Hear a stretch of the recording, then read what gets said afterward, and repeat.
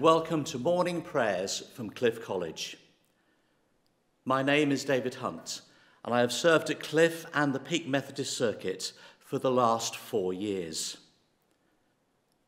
Our time of morning prayer today is based around an order of service we have occasionally used in the past at Cliff when you've gathered in the chapel as a community together.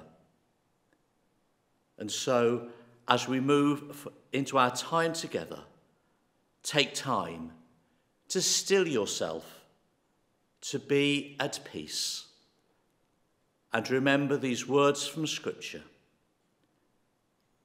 Be still and know that I am God. Be. Be still. Be still and know be still and know that I am God. Be still and know that I am God.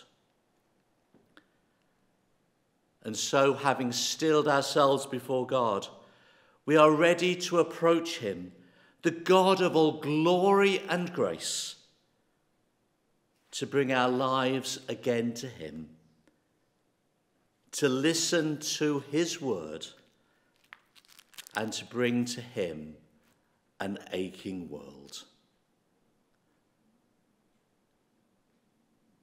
The next part of our prayers involves a response which will appear on the screen. I invite you to join in wherever you are today. We say together, one thing I have asked of the Lord. This is what I seek that I may dwell in the house of the Lord all the days of my life, to behold the beauty of the Lord and to seek him in his temple. Who is it that you seek? We seek the Lord our God. Do you seek him with all your heart? Amen. Lord, have mercy. Do you seek him with all your soul? Amen. Lord, have mercy. Do you seek him with all your mind? Amen. Lord, have mercy and do you seek him with all your strength? Amen. Lord, have mercy.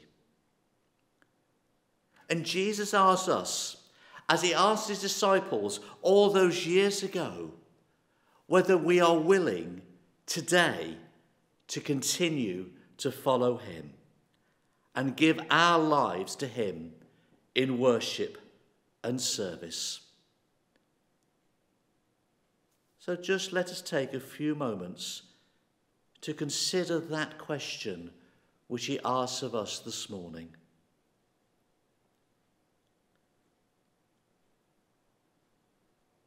If you are ready to make that commitment once again today, I ask you to join with me as we say together these words of St. Peter.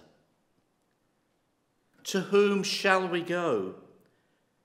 You have the words of eternal life, and we have believed and have come to know that you are the Holy One of God.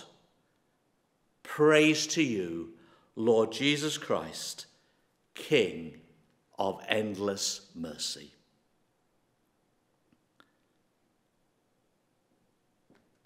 For our scripture reading, we are going to continue to look at some of the words from Psalm 27. That I will read these verses slowly and invite you to reflect quietly in your heart on what each of those verses means to you today. If a particular verse resonates strongly with you, stay with that verse and listen to what God is saying to you today and do not be concerned if I move on to the next few verses. Listen to God's voice as we listen to his holy word. Some verses from Psalm 27. The Lord is my light and my salvation. The Lord is the stronghold of my life. Of whom shall I be afraid?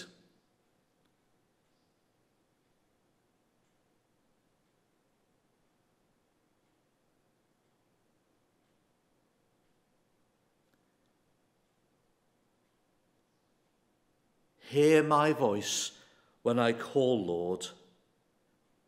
Be merciful to me and answer me.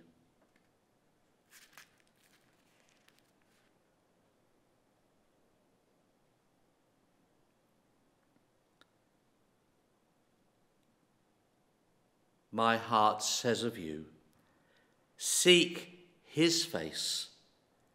Your face, Lord, I will seek. Do not hide your face from me.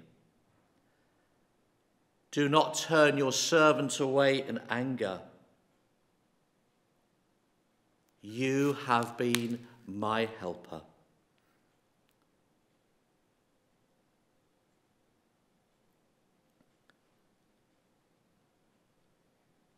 Teach me your way, O Lord. Lead me in a straight path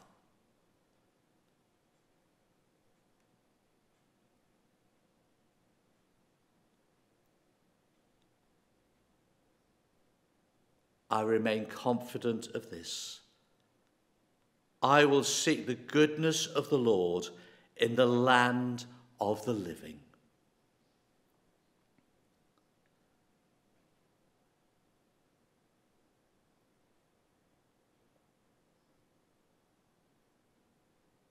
Wait for the Lord. Be strong and take heart. Wait for the Lord.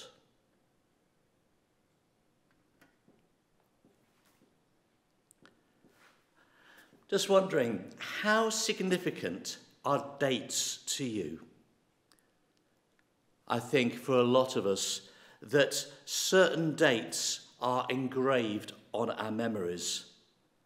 Maybe because of major events in world history which have affected us in some way the dates which people recall when I ask that question often says something about their age. For example, 22nd of November 1963, the date of President Kennedy's assassination. the 20th of July 1969 with the first moon landing, September the 11th, 2001, the attack on the Twin Towers in America. I'm sure as I'm mentioning these dates, other dates will come to mind. But I am also aware that the examples which I've given for most of our cliff body here, that those dates will be well before you were born. There will be other dates which are significant to you. Dates such as birthdays or anniversaries. There may be other dates which stick in your memory as they mark a particular occasion in your life's journey. Maybe it's the date you first stepped foot in Cliff College and how the time spent here, the people you have met, those conversations which you have had, the worship you've taken part in have transformed your life forever.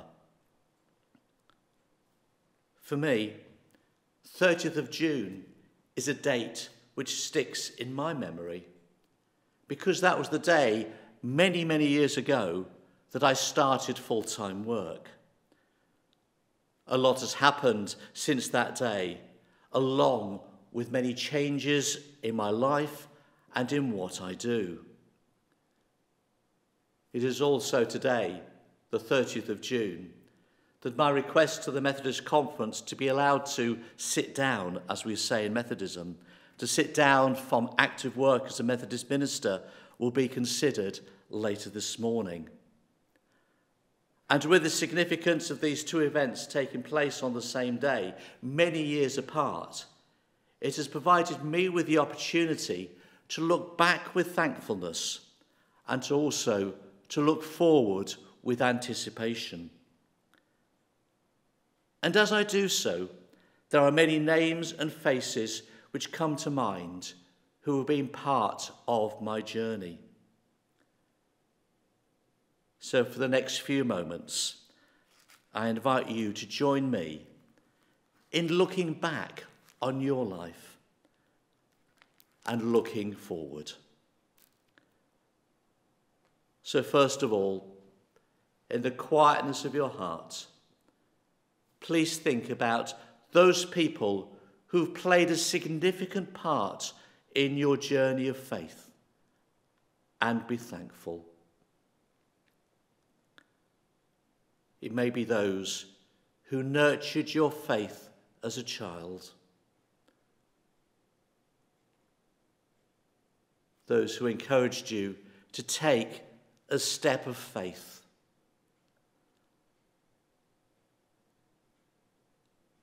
or those who have walked alongside you through times of joy and difficulty. So look back with thanks.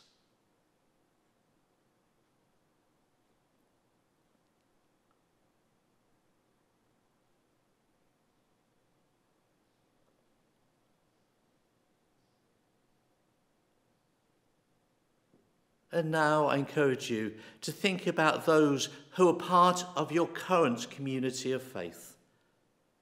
Maybe other students, colleagues you work with, members of the church you attend, close friends and family. Bring their names to mind with thanksgiving and prayer Pray for them in their respective places in their life as well. They are companions on your journey at this particular time.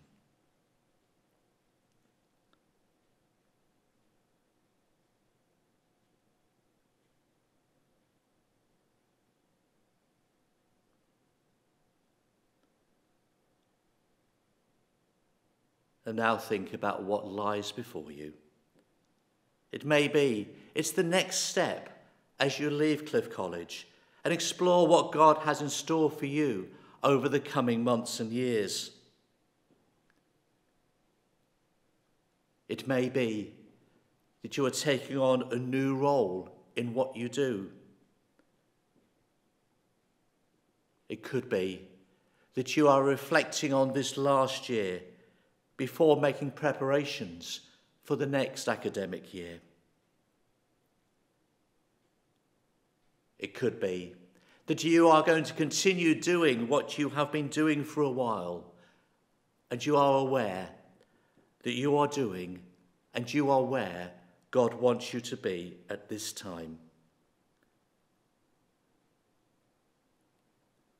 Whatever the future holds, offer it to God who has promised that he will never leave us, that he will be with us to the end of time.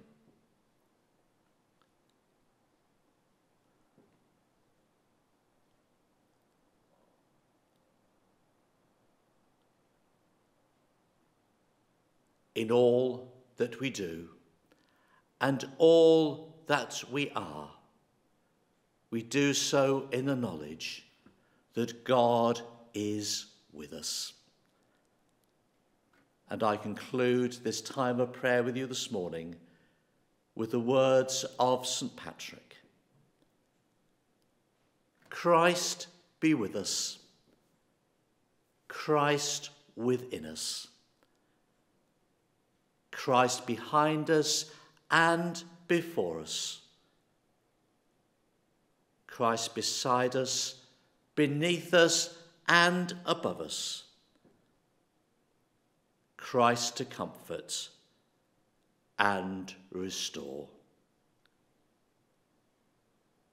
So, as we go forward into the day that the Lord has given us, as we go forward into the coming weeks and months, we do so in the knowledge that we go in peace and in the Spirit's power to transform, to love, and to serve. God be with you all. Amen.